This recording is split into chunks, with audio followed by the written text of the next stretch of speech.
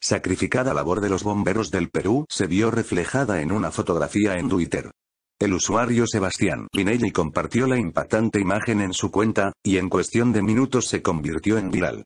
Las palabras sobran, escribió Vinelli junto a la foto, que ha conmovido a más de un usuario. En la imagen, que habría sido tomada el martes durante el incendio en una fábrica del Callao, se ve a tres bomberos completamente extendidos